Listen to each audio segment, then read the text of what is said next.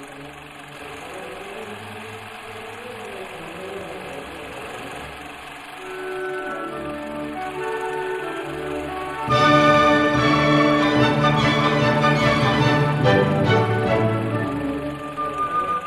makes us. You know that? God makes us.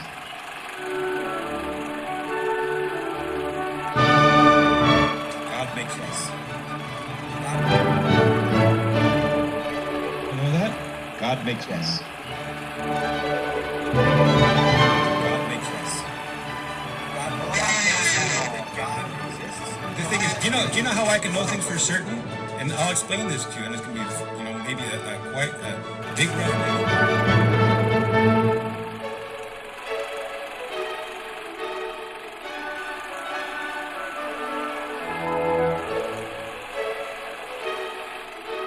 God makes us. You know that? God makes us. God makes us. God,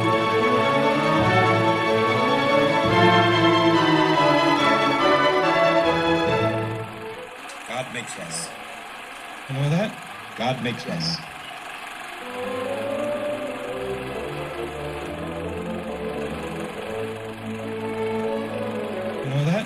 God makes us.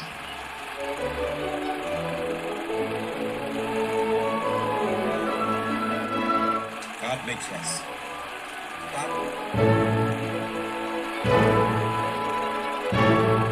You know that? God makes us.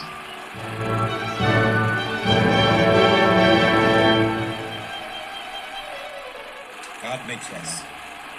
God,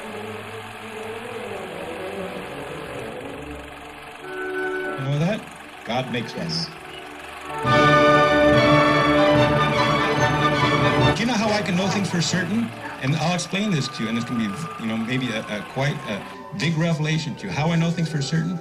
The same way you do. assuming a standard of morality which is above or outside of the Bible. And I'm saying outside of Scripture, you don't have a standard of morality by which you can judge those things. Now, these are great questions, but I don't do Bible studies with atheists. I do Bible studies with Christians who go on the authority of God's Word.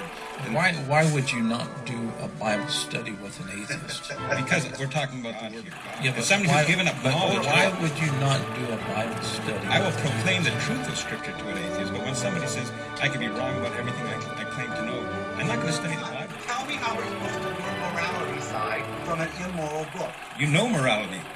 What is your standard by which you call anything immoral? I know in the Scripture, if you're an unbeliever and you die in your sin, stick around. But, but the point is, you're, you're introducing. So Standard. Based on what standard, Mr. based Silverman? on my standard. And you could be wrong about that. No, I can't. Well, thanks for contradicting yourself yet again. Yep, that's me. Sye, I have no ultimate standard, so when you say that it's true that this is required, I'd like to know what is the standard by which you call anything true. Go ahead. Oh, wait a minute. You've given up knowledge. Sorry. I'm done with you. The same way you do. Because we all know this God that exists.